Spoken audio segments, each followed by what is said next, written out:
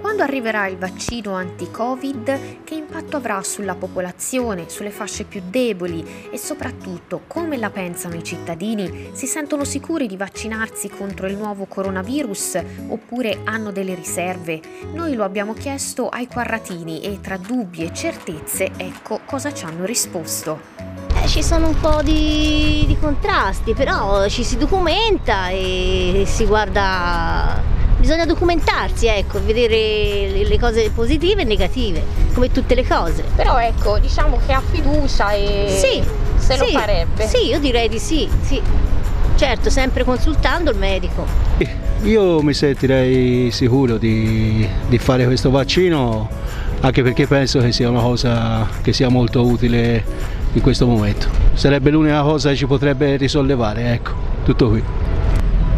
Sì, sì perché io mi vaccino per ogni cosa, mi sento più sicura, più curata. Il mio medico io gli ho fiducia, se me lo consiglia lo faccio volentieri.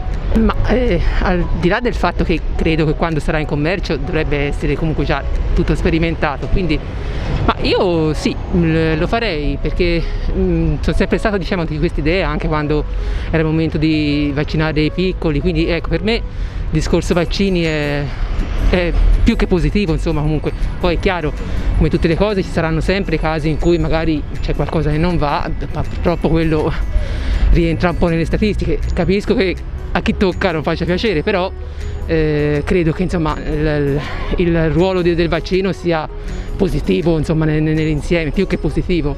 Secondo me è da fare. Se, se verrà il vaccino lei insomma, lo farà con tranquillità? Tranquillità, diciamo che si spera un po' negli altri che abbiamo fatto qualcosa di buono. Quando è sicuro sì, ma se non c'è, c'è qualcosa lo tengano loro. Non lo so, quando sarà il momento eh, ci penserò. E ci sto pensando. Vi sentite sicuri? Mica tanto. Mm-hmm. Mica tanto, ci sto pensando, non sono tanto convinta ancora di farmelo. Vado dentro, eh. Lei che ne pensa? Io aspetto che prima se lo fanno i politici, poi dopo vedrò.